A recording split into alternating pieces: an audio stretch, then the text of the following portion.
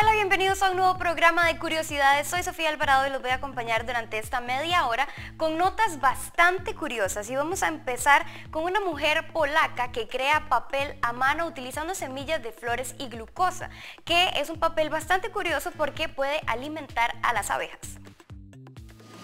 El papel se hace a la manera tradicional con un toque moderno, salvando especies en peligro de extinción. La adición de semillas, hierbas y plantas a este papel permite que se plante proporcionando hábitat y alimento a los polinizadores. El papel está hecho por las antiguas reglas medievales, que incluyen el uso de un tamiz para el papel hecho a mano y la mezcla de agua con celulosa, las fibras vegetales que se pueden encontrar en cada planta. El papel también se puede hacer con una capa de masa de glucosa, convirtiéndolo en una fuente de alimento para las abejas. También podemos hacer papel con una capa de glucosa para las abejas y cuando queremos alimentar a las abejas echamos un poco de agua sobre el papel y si la abeja necesita alimentos comerá la glucosa disuelta en ese papel. Según la Organización de Naciones Unidas, más de un tercio de los polinizadores, como las abejas y las mariposas, se enfrentan a la extinción debido a la agricultura intensiva y el cambio climático. Después de que este papel haya sido una etiqueta o una tarjeta de visita y queremos deshacernos de él, podemos ponerlo en una maceta en el jardín, que florecerá con una flor violeta que puede alimentar a las abejas. El papel biodegradable y ecológico atrae no solo a los polinizadores, sino que ha llamado la atención de los empresarios preocupados por el medio ambiente en toda Europa. Henry Llanos, Voz de América. Ahora vamos a ver la nueva tecnología que se está usando en los trajes de protección nuclear, biológico o químico que utilizan los médicos que combaten enfermedades como el ébola. Para los trabajadores de la salud, el tiempo en un traje de protección es muy difícil. Son tan calientes que a menudo los trabajadores no pueden pasar más de 15 minutos en un traje de protección completa nuclear, biológica o química. Y los investigadores de la Universidad de Stanford en California Dicen que el tiempo que pasan al entrar y salir de los trajes es peligroso, porque es cuando más probable es que los trabajadores humanitarios se contaminen. El profesor de Stanford, Craig Heller, también dice que trabajar a altas temperaturas puede afectar la capacidad de tomar decisiones. Cuando alguien se sobrecalienta, su capacidad cognitiva disminuye, no piensa con claridad. E incluso durante la fase de trabajo, si está previniendo ese aumento de la temperatura central, la gente está trabajando de manera más inteligente. Heller y sus colegas descubrieron algo que puede ayudar mientras buscaban maneras de aumentar la temperatura de pacientes después de la cirugía. Descubrieron que cada mamífero tiene lugares especiales donde el cuerpo envía su exceso de calor. Su unidad de enfriamiento autónoma consiste en una mochila de hidratación llena de un litro de agua congelada, un regulador de temperatura y una bomba de agua. El dispositivo envía agua fría a las manos y extrae el agua caliente. Su peso es de unos 2 kilogramos. Y eso se traduce directamente en que los trabajadores pueden pasar más tiempo en un traje de protección nuclear, biológica o química, incluso cuando trabajan arduamente y ese tiempo adicional podría traducirse en vías salvadas y trabajadores de ayuda más seguros. Gilberto Cabrera, Voz de América. Y ahora pasamos a un inodoro inteligente con nanosensores que analiza su salud en tiempo real. Se trata de un inodoro inteligente que puede decirle a usted o a su médico qué tan saludable está. El dispositivo analiza su orina con nanosensores, hechos con nuevos nanomateriales que tienen un gran impacto en la ciencia. En este laboratorio de Cambridge, los científicos hacen materiales biodimensionales con propiedades extraordinarias, incluido el grafeno, un material súper sensible que responde a los más pequeños toques. Tienes un anticuerpo que se encuentra en mi grafeno y está mi marcador en la orina y el marcador se acoplará con el anticuerpo que se encuentra en mi grafeno y ese evento de acoplamiento cambiaría la ruta de resistencia a través de mi canal de grafeno. En el inodoro, los biomarcadores en la orina quedan atrapados entre las nanopartículas de oro. Bajo una luz intensa, diferentes biomarcadores emiten diferentes colores, lo que permite medir sus niveles de concentración. El futuro son estas plataformas de detección donde los humanos y las computadoras se integran de manera aún más íntima. Podría revolucionar el enfoque médico que tenemos actualmente. ¿Usted ve a su médico? ¿O será solo una pantalla que ve en el futuro? Los investigadores dicen que los sensores pronto podrán aislar e identificar grandes cantidades de moléculas a la vez, al instante. Esto anuncia una nueva era en el diagnóstico médico y pondrá a prueba los límites de la comodidad, al menos en términos de privacidad. Miguel Ángel Rivera, Voz de América. El Observatorio Barrow en Alaska tiene personal durante todo el año y uno tiene dos investigadores que trazan, miden y miden y siguen los cambios en la calidad del aire y el clima, mientras que también se aclimatan a las tradiciones locales. Brian Thomas es jefe de estación en el puesto científico más al norte de Estados Unidos, el Observatorio Barrow. Desde 2015, él y un colega han caminado a través del hielo y la nieve, tomando mediciones de los gases de efecto invernadero en la atmósfera para rastrear cambios diminutos en el clima de la Tierra. Aquí estamos monitoreando los gases que agotan la capa de ozono. Estos son compuestos que fueron prohibidos por el Protocolo de Montreal, que se firmó a principios de los años 90, y todas las partes del Protocolo de Montreal acordaron no usar más estas sustancias. Recientemente, Brian también comenzó a controlar la cantidad de metano en el suelo. Se está liberando desde el suelo a medida que las temperaturas crecientes derriten el permafrost de Alaska. El metano es un gas de efecto invernadero, por lo que existe la preocupación de que eso pueda contribuir al calentamiento de la Tierra. Mi trabajo aquí es tomar las mediciones, como hemos estado haciendo durante 40 años. Las mediciones muestran que el dióxido de carbono, por ejemplo, está aumentando en la atmósfera. Sabemos la física de eso, sabemos lo que eso significa para el ambiente. Thomas llegó aquí en 2007 desde su ciudad natal de Sacramento, California, pero este es el hogar de su hijo de cuatro años, Ellis, quien nació aquí y va a un jardín de infancia de inmersión, donde aprende el idioma local, Inupiaq. Es solo una parte más de la vida para quienes viven y trabajan en la comunidad más al norte de Estados Unidos, en el borde del Océano Ártico. Miguel Ángel Rivera, Voz de América. Hacemos nuestra primera pausa, pero ya venimos con más notas curiosas. Vamos a ver cómo la realidad virtual nos muestra cómo quedarían las ciudades que han sido bombardeadas después de su restauración. También vamos a ir a Italia para ver cómo una familia está cambiando la manera de comer y entender la pasta. Y además un avatar en las fronteras europeas. Ya venimos. Seguimos con más curiosidades. Ahora vamos a ver la tecnología que nos va a enseñar cómo van a quedar las ciudades que han sido víctimas de las guerras después de su restauración.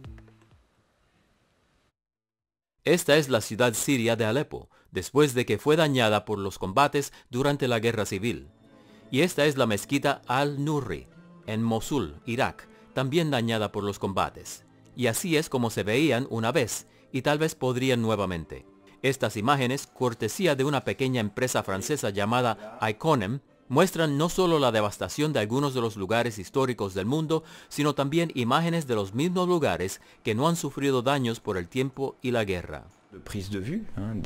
Tomamos cientos de miles de fotos que traemos a Francia para procesar con computadoras grandes y estos algoritmos construirán automáticamente modelos 3D realistas. Para obtener esas fotos, los equipos visitan sitios como este, en Palmira, armados con cámaras y luego dejan que sus algoritmos hagan el resto. Este modelo 3D que estamos en proceso de generar ayudará a hacer el mapa general y el registro de la propiedad que permitirá a los arquitectos visitar la ciudad, qué monumentos podremos conservar y cuáles podremos restaurar. Parte del trabajo del equipo está actualmente en exhibición en París y para muchas personas es un asunto serio. Tristeza, siento tristeza porque visité a Leptis Magna y Alepo antes de los bombardeos y me duele el alma. ICONEM se ha asociado con la ONU para ayudar en sus esfuerzos por preservar y restaurar lugares como Mosul, Alepo y Palmira. Miguel Ángel Rivera, Voz de América. Ahora vamos a ver un programa que se llama Earth Ranger que facilita a las, a las autoridades a cuidar las especies en peligro de extinción. Los elefantes se encuentran entre los animales más amenazados del mundo, resultado de la caza furtiva de marfil que ha provocado que la población disminuya un 20% entre 2006 y 2015. Pero ahora, en la reserva de caza Grumeti, en Tanzania, los elefantes deambulan libremente y con seguridad, ya que todos están equipados con un collar de rastreo. Los guardabosques en la sala de operaciones dependen de la plataforma tecnológica Earth Ranger o DAS para seguir a cada elefante. Lo que hacemos con DAS es monitorear todos nuestros activos, cada animal con collar, e ingresamos datos que a su vez nos ayudan a tomar decisiones y planificar operaciones. Cuando se detectan amenazas, el sistema alerta a los guardabosques que están siguiendo los datos. Earth Ranger, te permite, en vez de ser reactivo y estar siempre atrasado y siempre después de que un animal haya sido asesinado, a ser realmente proactivo, ser capaz de anticipar y adelantarse al problema. Earth Ranger no solo salva las vidas de los elefantes, sino que también protege al personal en la reserva de los cazadores furtivos. La comunicación constante y rápida con la sala de control hace que las tareas de los guardabosques sean más fáciles y seguras y les ayuda a usar sus recursos de manera más eficiente y efectiva. Los desarrolladores esperan que Earth Ranger brinde a los conservacionistas de la región la red que necesitan para trabajar juntos y salvar la vida silvestre de África. Miguel Ángel Rivera, Voz de América. Ahora veamos cómo el Avatar iBorder Control va a ayudar en las fronteras europeas.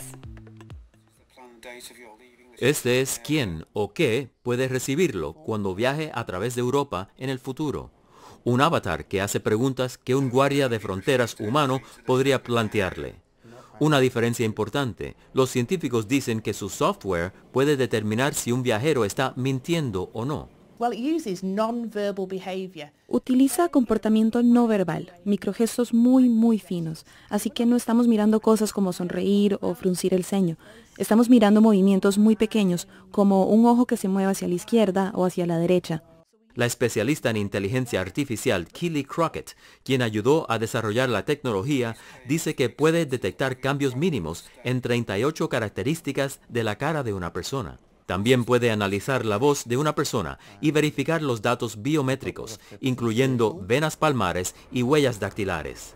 El control fronterizo se ha convertido en un tema acalorado en toda Europa, ya que decenas de miles de migrantes, en su mayoría de África y Oriente Medio, están tratando de llegar a los países de la Unión Europea.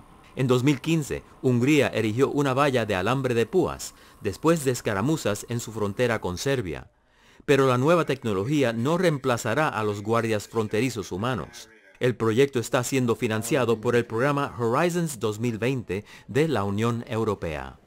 Miguel Ángel Rivera, Voz de América. Hacemos nuestra última pausa y ya venimos con más notas curiosas sobre salud.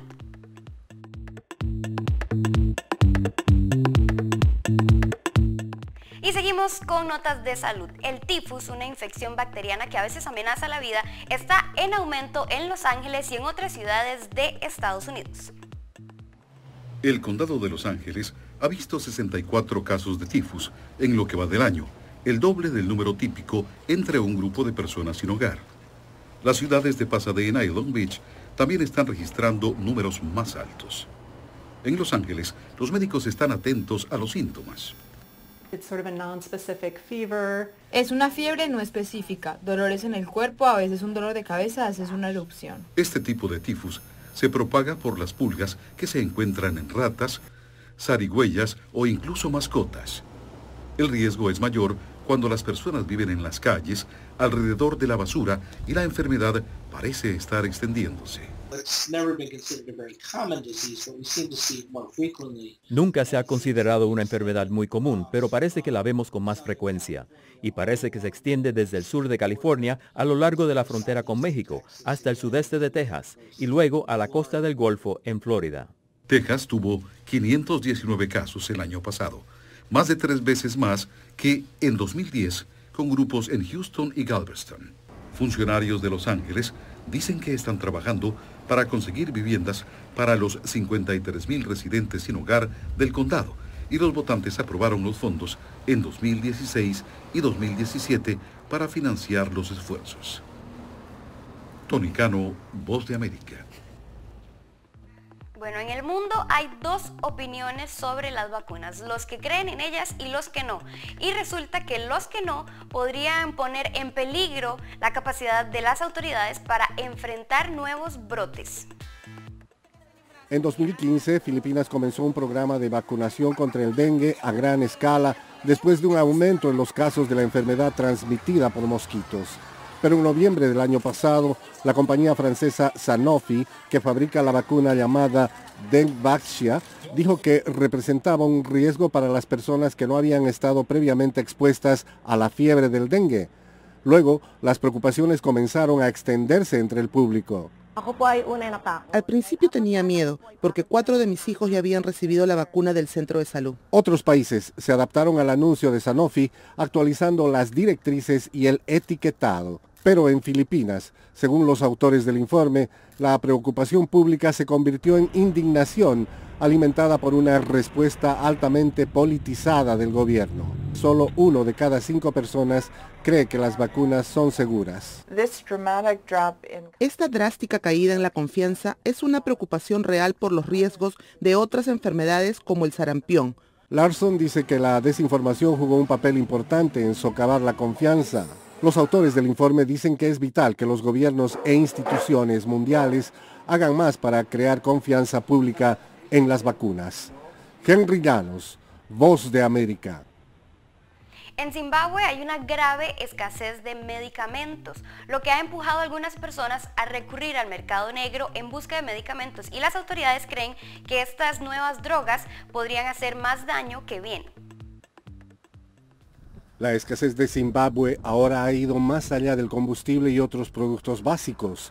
La Sociedad Farmacéutica de Zimbabue dice que no puede obtener suficiente moneda extranjera para importar medicamentos necesarios para el cáncer, la diabetes, la hipertensión y algunos antibióticos.